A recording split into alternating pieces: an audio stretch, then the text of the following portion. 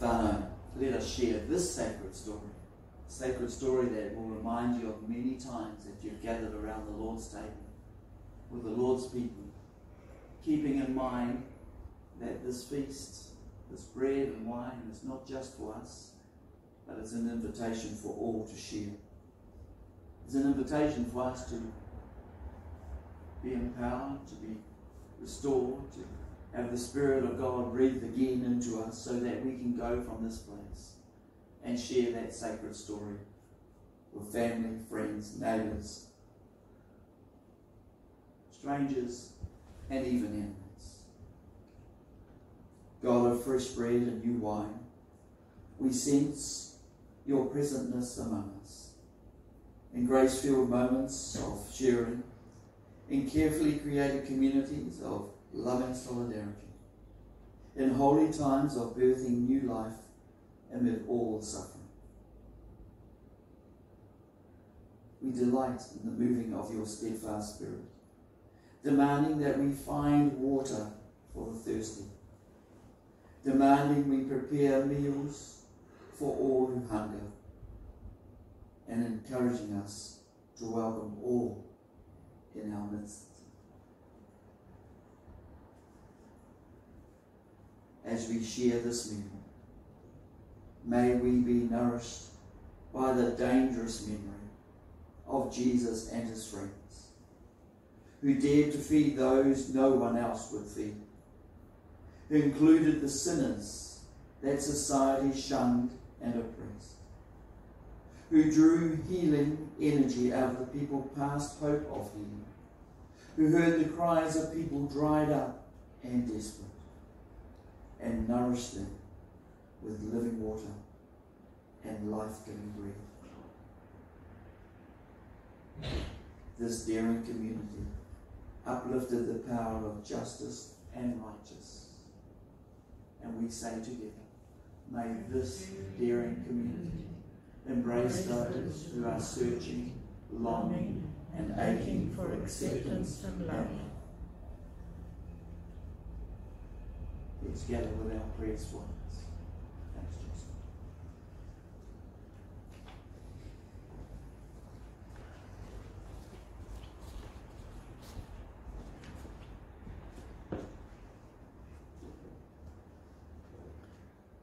Let us pray. Almighty Father, who has given thy only Son to die for our sins and to rise again for our justification, grant us so to put away the thoughts of malice and wickedness, that we may serve thee in the pureness of living and truth, through thy Son Jesus Christ our Lord. Lord Jesus, the light of your life shines on. Your light has come into the world. Neither darkness nor evil nor death itself could overcome it. And we, like Mary and the disciples, who have been with you during the Holy Week and the resurrection story. It's not always easy to believe with our minds and trust with our hearts. Loving Christ, open the eyes of our faith that we may behold the work of your redemption and know our sins are forgiven. May this time of worship be a worthy response to your love and your sacrifice for us. Let us remain ever beside you at the table of the Last Supper, doing all that we do in remembrance of you and the way you were when you walked this earth. Lord God, we continue to pray for Ukraine. We ask you to be with all, the, all especially children who are suffering the war in Ukraine as and the war in Ukraine deteriorates. We pray, Lord, for those who are anxious and fearful, for those who are bereaved, injured, or who have lost their lives, also for those who have lost, lost loved ones. Show the way of peace that is your overwhelming presence. God of love and freedom, as Anzac Day is tomorrow, we bring our thanks this day for the peace and security we enjoy, which is won for us through the courage and devotion of those who gave their lives in time of war.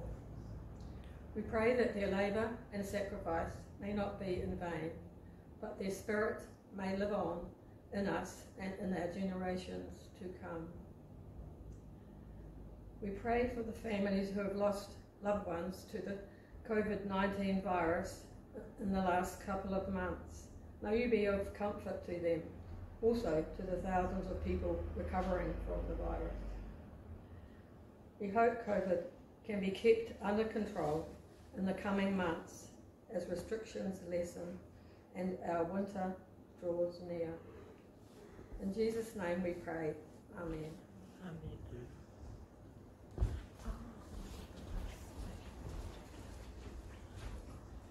Hard to see you there. I didn't check. Oh, it's a bit better there rather than there. Let's pray together. Life giver, Life giver, pain pain bearer, bearer, love love maker, maker, source of all that is and that shall be. Father and mother of us all, loving God, who moves heaven, the hallowing of your name echoes through the universe. The way of justice is followed by all peoples of the world. Your heavenly will be done by all created beings. Your commonwealth of peace and freedom sustain our hope and calm on earth. With bread we need for today, feed us. in the bills we absorb from one another, forgive us. In times of temptation and test, strengthen us. In trials too great to endure, spare us. From the grip of all that is evil, free us. For You reign in glory and the power that is love, now and forever. Amen.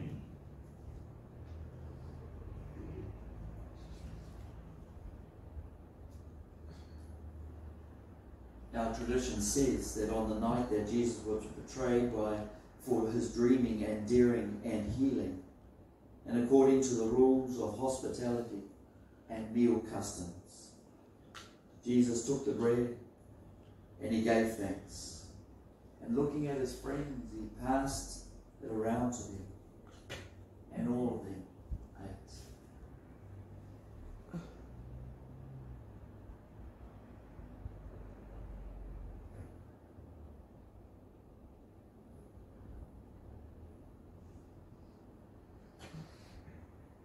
bread, that symbolizes human lives, interconnected with other human lives, and the power of giving and receiving, prepared and shared and blessed for all.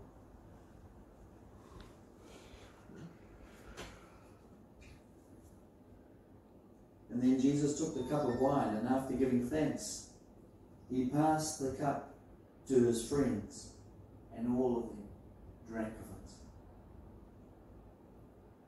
Holy One, we remember the death and the life of Jesus, and the many committed faithful people then and now, who have kept alive the dangerous memories of fresh bread, new wine, and living water, prepared and shared and blessed for all.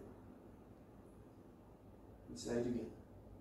May our lives give birth to your healing power in us and among us, that turns water into wine, Dead tables into feast, outsiders into beloved friends. Together may we make all things new. Together may we make your presence real in and around us. God makes peace within us. Let's claim it. God makes peace between us. Let us share it.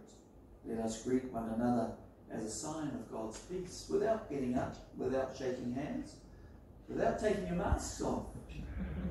Turn and offer the peace in whatever way. Twinkle of the eye. In a long time. Getting up and going, sharing the peace with one another. And trying to get you back. Challenge. It took me a while to realise there's some music ready, Colin, so as soon as you feel it's time, get the musicians down to play. And even then, the music brought us back. This bread of compassion and hope, this cup of blessing, of new life, these are the signs of a loving community, a community of hope, now shares this bread and wine with us as we are called to share it with one another and share it with the world. Bread and wine shared for us. Invite you to take and eat the bread as you receive it and hold on to wine and we will drink that together.